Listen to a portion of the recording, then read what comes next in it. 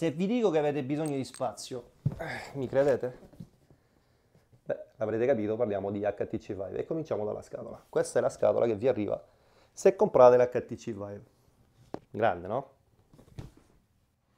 Lo spazio.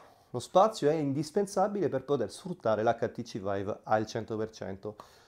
Perché? Perché giocare in standalone, non so se si dice così, in postazione fissa, è bello con la simulazione, ma se non, ci soffermiamo solo alla simulazione, eh, il room scale è quello che offre veramente di più con la realtà virtuale ed è il di più che mi ha spinto a comprare l'HTC Vive, anche se gli altri stanno iniziando a farlo.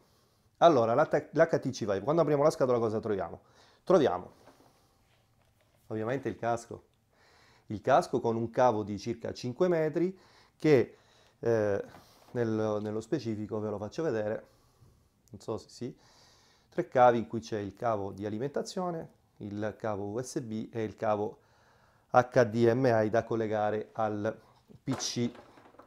Il tutto si collega a un box che si ricollega poi al, al PC ovviamente e quindi il casco è collegato eh, in modo hardware al PC.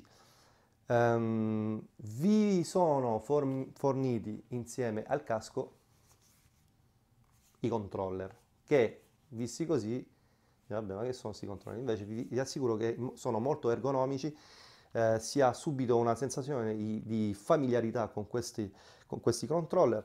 Sono molto hanno un peso giusto non so se mi riesco a spiegare con la cinghiettina a mo' di PlayStation Move che sono importantissimi da indossare perché non è come ho detto PlayStation Move? Sì ce l'hanno anche eh, o i, i, controller della Wii, se, se, non sbaglio, sì.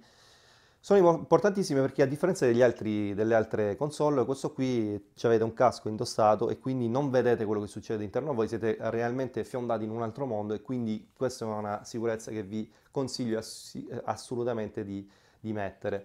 Um, la forma è abbastanza futuristica di questi controller, ci sono 2, 3, 4, 5, 5 pulsanti più il grilletto che utilizzerete moltissimo e una specie di D-pad sensoriale che potete sia premere che eh, giocarci per fare alcune cose che scoprirete se comprate un HTC Vive. Eh, sono forniti insieme ai due controller, il casco e le cuffiette perché si possono collegarle qui oppure una cuffia esterna per avere una qualità di suono migliore, due eh, base station che sono lì, che non so se riescete a vedere, magari metterò un'immagine nel video, e ce ne sono due che servono a eh, identificare il posizionamento del casco rispetto all'area di gioco. E, e quindi sono, non so come sono collegati tra di loro, c'è una specie di motore dentro che quando si collega si sente un rumorino. Io onestamente quando eh, finisco di utilizzare l'HTC Vive li stacco perché sono collegati ovviamente alla corrente elettrica.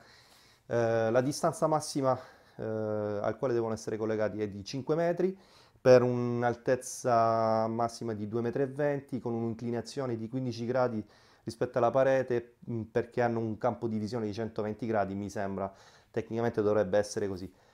L'installazione per me personalmente, l'avevo già detto in un video precedente, mi ha preso circa 10 minuti. Perché? Perché ho preparato il mio ambiente spazio di gioco eh, prima che l'HTC Vive arrivasse e avevo già individuato i punti eh, fissi dove appunto sistemare queste basi.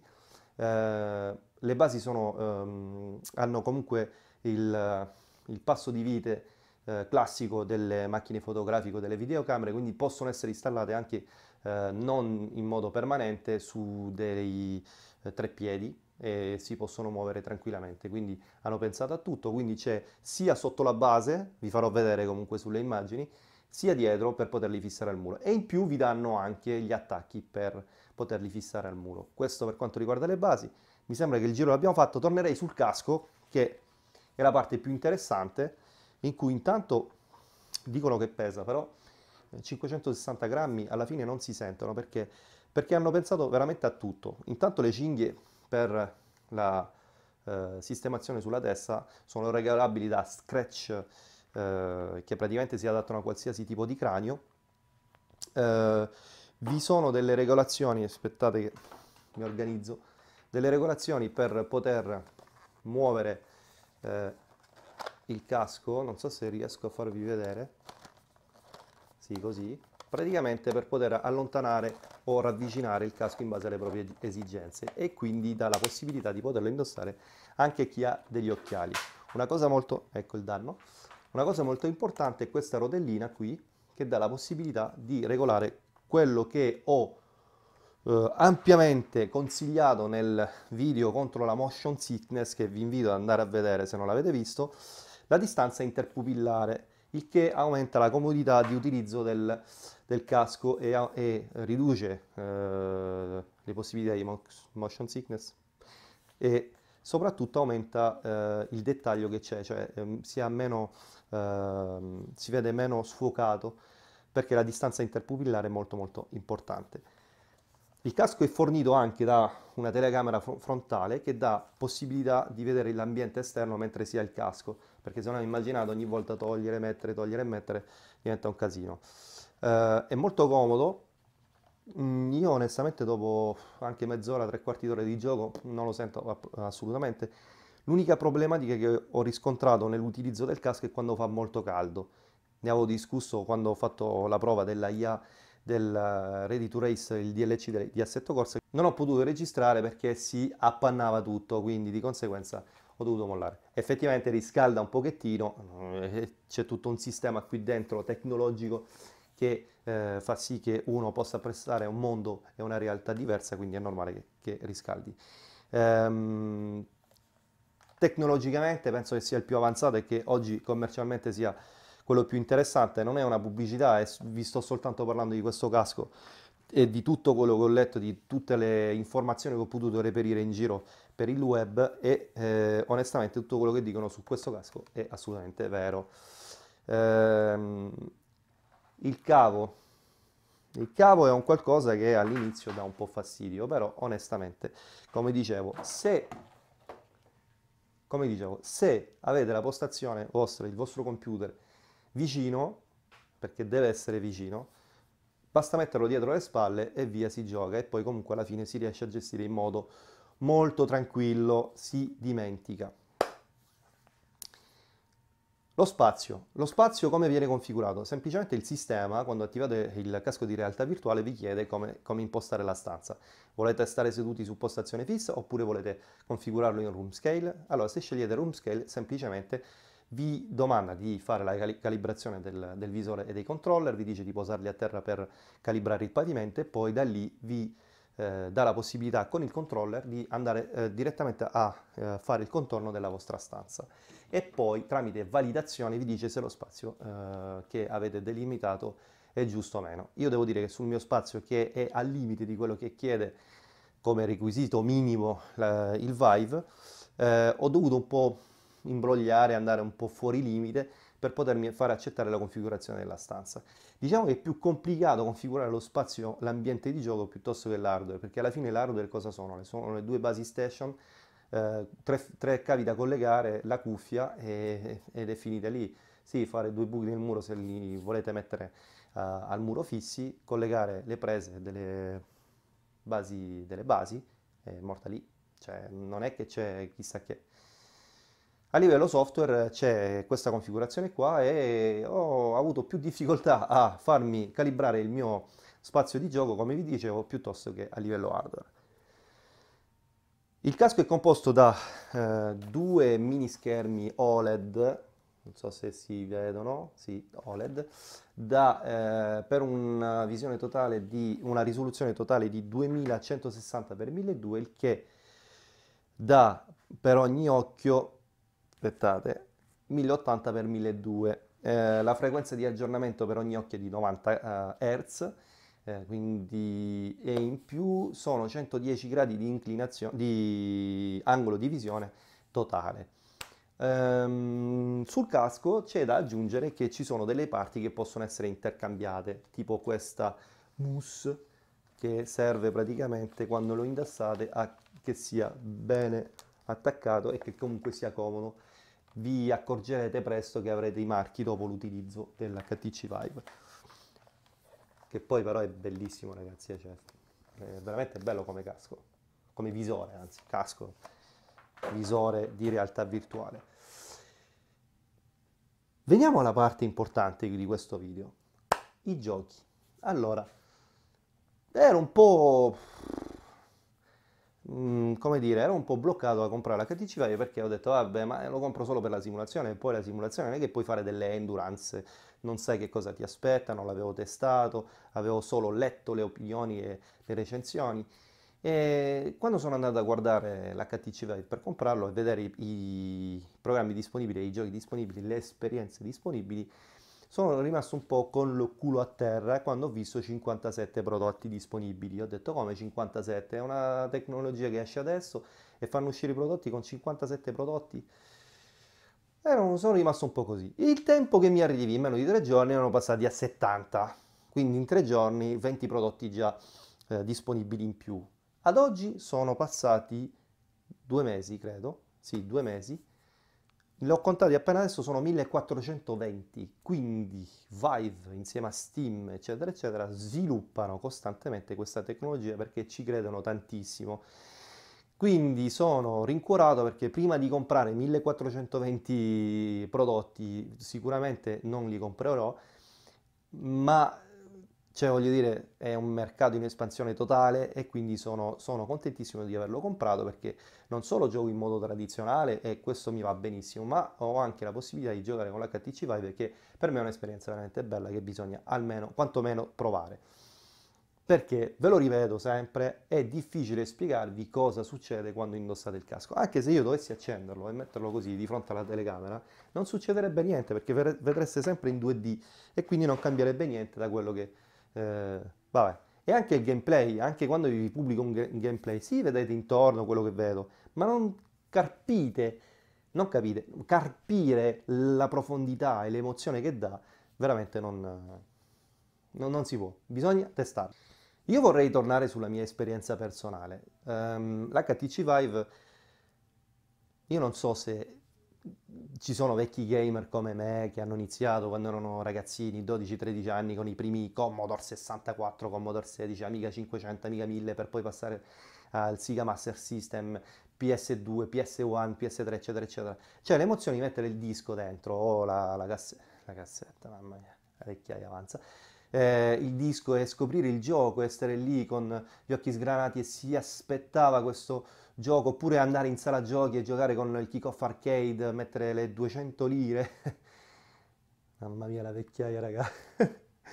Vabbè, i, cambi, i, tempi cambiano, noi avanziamo, non mi importa. Quell'emozione lì che si provava, il, il, il, fatto di dover chiedere le 1000-2000 lire a papà e a mamma per poter andare a giocare in sala giochi e andare lì davanti al, alla Born Arcade, eh, è un qualcosa che eh, con i tempi moderni non so se si, con la facilità che sia di avere i giochi a casa, eccetera, non so se sia questa eh, stessa emozione che si aveva all'epoca. Oggi io mi lancio a dire questa cosa, non vorrei dire una cacata, però ogni volta che metto il casco e vado a scoprire un nuovo, un nuovo gioco, oppure vado a farmi una gara, una simulazione, io la risento questa emozione qui. Cioè, quando stacco, perché sono stanco, quello che è, e vado al lavoro, cioè durante il lavoro, cavolo, stasera torno, mi metto il casco e gioco. Cosa che prima no, sì, una, è sempre una passione il fatto di guidare, di giocare, uno si inventa delle gare, cerca di mettersi online con gli amici. Però quella pura emozione del divertimento, eh, con quella paura di finire il gioco per non avere più quell'emozione, è tornata.